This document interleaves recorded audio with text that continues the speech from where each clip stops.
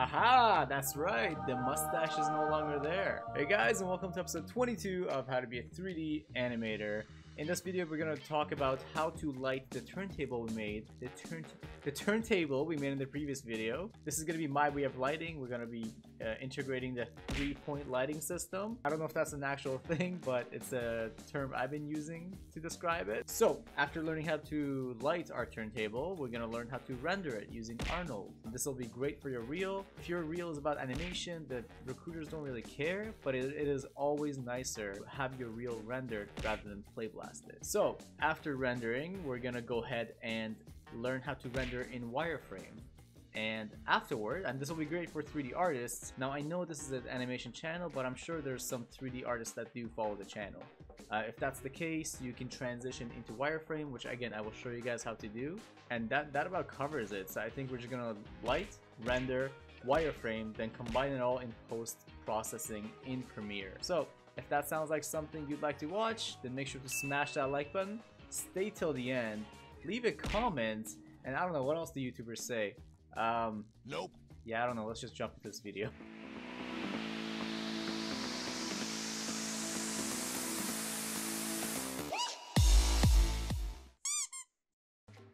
Okay, so first things first, we want to create a project folder for our project. This will tell Maya where to render out the images to. So we're gonna go to File, Project Window, press New, and just locate where you would like this project folder to be created. Oh, I'm gonna name this Video 22. Press Accept, and now when we go to our render settings up here, on Path, it'll path the renders that we create into the folder, the project folder we just created. It'll all go into the images. So this is the folder we created. I'm to open it up. And once we render things, the renders will end up going into images. So that's step one. Okay, so this next step will be lighting. And since we're going to be rendering this with Arnold, we're going to need Arnold lights. So we're going to go up here to Arnold, go all the way down to lights, grab ourselves an area light. Gonna press R to rescale it. And as you guys can see, um, our picture is still black. And so what we have to do is uncheck normalize on the light right over here. Uncheck. And now we can see the effects of our light. If you want to see your render real time, you can go to Arnold, make your way down to open Arnold render view, this window pops up. You can press this play button, which makes it real time. So now if I move my perspective around, you can see the real time render of your character. I'm just gonna put this over here on the side. And so there's a few things to keep in mind with the Arnold lights. One is the color. Um, I suggest if you guys are going for, for something realistic-ish, I suggest using uh, use color temperature. So I'm gonna check that. And with color temperature, the higher the temperature goes, the colder it becomes. The lower, the more orange. I'll show you guys. So if we bring the temperature up to 10,000, you see our uh, render gets very blue. And if you bring it down to the 2000s, it gets very orange. So I'm gonna go ahead and set up our fill light. And I'll, explain the different lighting system we're gonna use in a second. Okay, so I went ahead and scaled up this light. We're gonna go ahead and rename this fill underscore light. And so now we have one light in our scene. And this is what our render looks like. Um, I went ahead and changed the temperature to 9500. And another thing I did was I changed sampling to 5. The higher your sampling, the less noise you're going to have. Noise is this thing right here, those little distortions in the picture. So when it looks grainy, you kind of need more light samples, and so you have to increase the sampling a bit. I think 5 should be good enough. We're going to do some other stuff as well to try and battle this. So that's essentially all I did. I just made it bigger, and the bigger your light is, the softer your shadows will be. And so the whole point of a filler light is to fill up all the non-lit areas in a very, very soft way. So there's no harsh shadows. Next light we're to need is to be our backlight, commonly referred to as rim light. And so there we go. And all I did to create this rim light was to duplicate this big light by pressing Ctrl D, dragging it out, rotating the direction, and scaling it down. Because once you scale it down and increase the intensity, it'll have a much harsher light. So, and that's what we want. We kind of want harsh outlines. Um, and so in this case, for the backlight, for the rim light, I changed the temperature to 3500. So it's a lot warmer. And making it smaller, I also increased its intensity by 70. So now our backlight has 70 intensity and the temperature is 3500. This is pretty much the only changes I made to it. And of course we have it facing the back of the character. And what that does is it creates very nice backlit, yellow backlit light around the edges. And that's pretty much the only reason we're using this for, just to separate the character a little bit, give it a little bit of an outline. And now for the third and final light, we are creating our key light. Now again, same process. I went ahead and duplicated the backlight and changed the temperature to 7500, which is more of a cooler but more closer to white. So a white color and this is our key light, our main light. Want it to be neutral because we, well, we have a cold fill light and we have a warm backlight and so we need our key light to be a little bit more of a neutral somewhere in the middle.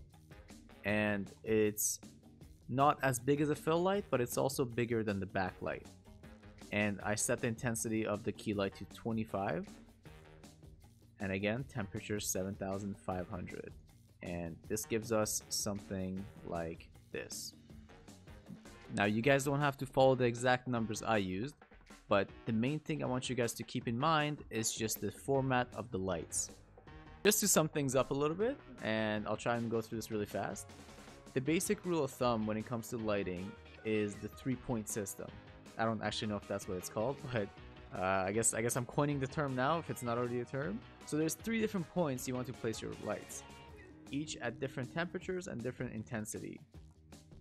So you have two lights in the front. One will be the key light, which is this guy right here. So this will be your main light source. The second light you need is the fill light. And as the name suggests, it fills the areas not lit by the key light. So there's no harsh shadows. And lastly, we have the backlight and as the name suggests it's in the back of the character and it's meant to create a nice outline around the edges of the character separating the character from the background. Okay now so let's say we have our light set up and we want to render the character. How are we gonna go about that? Time to get into rendering. So for this I'm gonna walk you guys through rendering with Arnold. Now that we have our project set and we have our lighting we're gonna open the render settings right here. We're gonna go to common and make sure the path is the same as the project we set in my case it is. We're good. And for the naming I'm just gonna change the name to Zelda turntable. And I'm going to make the image format PNG and lastly I'm coming down to frame and animation. Changing the name formatting to name underscore number dot ext and what this does is that it'll have each picture named Zelda turntable underscore the numbers. So the first picture will be named Zelda turntable underscore 0001 and the reason there's three zeros beforehand and it's four digits is because our frame padding is set to four. So first image will be called 0001 and the last image will be frame 159, so it'll be called Zelda Turntable underscore 0159. Hopefully that's not too confusing. Um, and actually we're gonna set that right now. So we want the first frame, the starting frame to be 1. We want the ending frame to be 159. There we go. And we can scroll down a little bit farther to our render renderable cameras, perspective, and we have the turntable camera. We want neither of these, so I'm gonna delete one and then change perspective to camera 1 and if we go up here let's check what our camera 1 is this one right here. So we're gonna place this just right. This is where we want it. And we want to render this camera. So camera one. We're gonna scroll a little bit farther down. We want it to be 1920 by 1080. And I'm setting the resolution to 300, which might be a little high. But, um, and you know what, for the sake of this video, I'll bring it down a little bit more. I'll bring it down to 150. So 150 resolution, 1920 by 1080. And lastly, we're gonna go to our Arnold render tab. I'm going to change, I changed diffuse and specular to three. And I'm just increasing the sampling a little bit just so we get a little bit less noise on our render. Okay, now we're gonna close our render settings. We're gonna go to the top left, change this to rendering. Go to the render tab, down to render sequence press the little box and we want to change the camera to camera one. And I think every and I think everything else is okay so I'm going to render sequence and close. Alright and now my animation is being rendered on the side. I'm gonna pause this and I'll join you guys back once we have our entire sequence rendered out. Okay so we got our render and they're all in separate pictures and essentially created a sequence of pictures from frame 1 all the way down to frame 159. Now, time for step 4, which is going to be wireframe. So what you need to do here is select your character, go to your last tab here, which will be the textures, and I'm going to change Lambert to AI wireframe.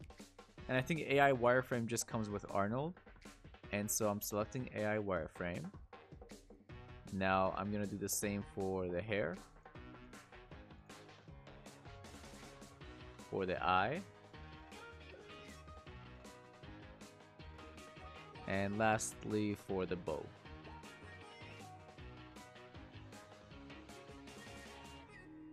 Now if we press render, we'll get something like this which is fine, it's okay, but what if you want the texture underneath the lines? So I'm going to show you guys how to do that exactly. So let's say we have the body selected. I'm going to go to the last layer again, the last tab. And on fill color, I'm going to press the little checkered box. And we're going to replace the fill color with a file. And the file is going to be our diffuse map. So that takes care of that. Now we have the hair left. We'll just do the same for the hair and everything else. do the exact same thing for the eye. Eyes diffuse. And lastly, we're going to do the exact same thing for the bow. There we go. And now we're going to try this again. We're going to go to Arnold, render, and now we have something a little more appealing. We have our, our wireframe over the diffuse. So one thing you guys will notice is that the model is cut up into triangles. The wireframe is in triangles and we need this to be in polygons. So we're gonna go again one by one and changing these into polygons. Polygon, and we have the hair left polygon, and then and then the eye polygons. Now, we try this again, now we have a proper wireframe for our character on top of the diffuse. And then we can do the same thing and re-render this as well. Alright, and I'll see you guys in the next step once I render this with the same exact method that we used in the previous step. Okay, so for the fifth and last step, we're to bring these bad boys into Premiere and load them as a sequence. What you want to do is go to File, Import, go to our project folder, Images, and here we have the wireframe. You essentially load these as you would any other file, except you want to click image sequence. And what this does, it, it automatically creates a video out of all of the sequenced images. So for example, it starts from 0001 and it makes its way to 0159. Let's press open. And now if you guys see here, it actually plays it by itself. It comes in as a video file. Drag this here, see what we have. Cool, there we go. So it automatically created the video for us. Now let's load in the other one. So again, file, import. I'm gonna click the very first one, make sure image sequence is checked on, and open. And there we go, we have our render as well. Let's play this. Looks perfect. Okay. Now I'm just gonna make a duplicate of each one by clicking on it, holding Alt, and dragging away. That was the wireframe, and now the regular turntable. Click on it, hold Alt, drag to the side. Okay, now that we have both render and the wireframe, there's a couple things we can do. We can actually fade this, fade the render into the wireframe midway through the turntable. So we're gonna go ahead and do that. So we'll say, so we'll say at this point we want to fade into our wireframe version. So I'm gonna go ahead and press C and cut our rendered version. So it switches to wireframe. And I'm going to go to effects, type in transition, and I'm gonna grab film dissolve and grab this and put this on our second rendered layer. Now I'm gonna press play and, and now we have it fading into wireframe.